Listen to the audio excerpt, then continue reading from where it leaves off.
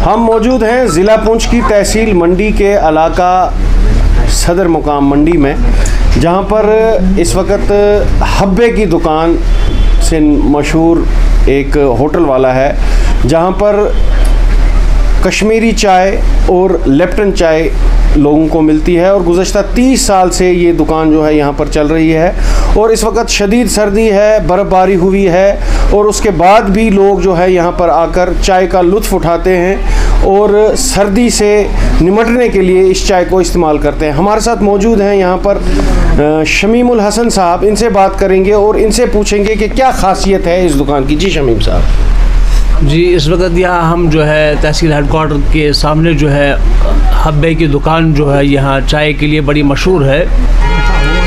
यहाँ देखने में ये आ रहा है कि यहाँ फारफलंग एरियाज़ से बाइला से फतेहपुर से सरोनिया से, अड़ाई से, मंडी से जो है और लोरन और सावजिया से लोग जो आते हैं, जो शदीद सर्दी के मौसम में यहाँ पहुँचते हैं, वो यहाँ हब्बे की दुकान पर जो है वो नमकीन चाय पीते हैं। ये काफ़ी मशहूर दुकान है, तकरीबन पाँच आठ दस साल से जो है यहाँ पर जो है नमकीन चाय जो है वो दस्तियाब है। इससे पहले गर्चे मंडी में वाफिर मकदार में या ऐसी दुकानें नहीं थी कि जहाँ पर इस तरह की चाय जो है वो मैसर हो, अवेलेबल हो, जहाँ पर लोग जो है सस्ते दामों में जो है वो चाय भी पिए।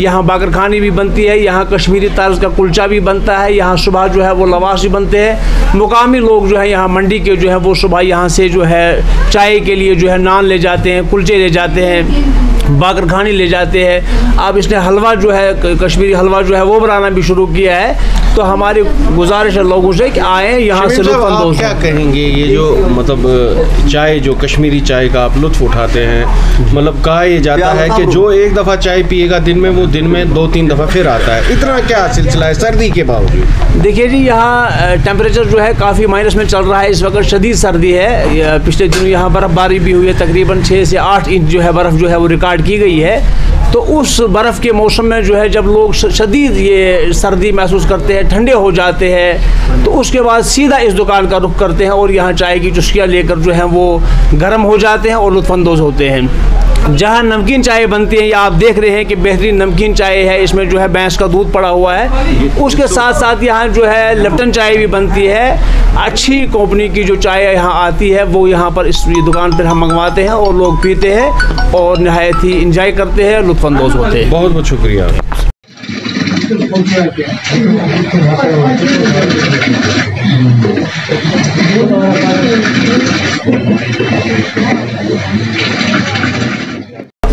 हब्बे की दुकान के मालिक हमारे साथ मौजूद हैं, हब्बा। इनसे बात करेंगे और कहेंगे कि कितने अरसे से ये दुकान चला रहे हैं और क्या खासियत है इनकी चाय में जो लोग यहाँ पर ज़्यादातर चाय के लिए आते हैं। जी। अस्सलाम वालेकुम। जी, मेरा नाम अब्दुल हबीब है। हब्बा ऐसे कहते हैं शॉर्टकट में मुझे हब्बा। तो माशाल्लाह मैं लगभग तीस साल से मैं काम कर रहा हूँ यहाँ पे।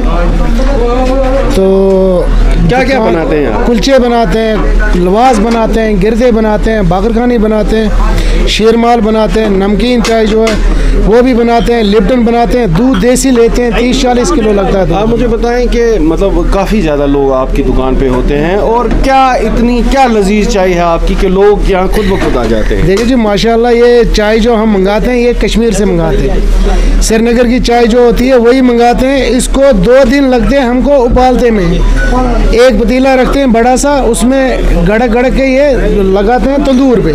ये चाय माशाल्लाह अच्छी बनती है इसलिए दुनिया आती है चाय पीने के लिए। इसमें यही खासियत है मिठास बनता है और क्या देसी दूध। सर्दी है बर्फ़ हुई है तो इसमें कितना एक रश रहता है बहुत रश होता है माशाल्लाह। कुछ कहने की बात ही नहीं है मा- पूरे दिन में लगा रहता हूँ खाली चाय बनाता हूँ रश बहुत होता है कहने की कोई बात बहुत बहुत शुक्रिया आपका। तो नाजरीन ये थे हब्बा हमारे साथ जिनकी मशहूर चाय है, मंडी में नमकीन चाय और लिप्टन चाय। गुजशत तीस साल से ये सिलसिला यहाँ पे चला रहे हैं और खसूस सर्दी और बर्फ़बारी के दौरान इनकी दुकान पे बहुत ज़्यादा रश देखने को मिलता है और जम्मू और कश्मीर के मुख्तलिफ़ इलाकों से जो लोग हैं यहाँ पर आके चाय की चुस्कियों का मज़ा लेते हैं। आप देखते रहिए कश्मीर उज़मा, कैमरामैन जहीर अब्बास के साथ मैं इशरत भट्ट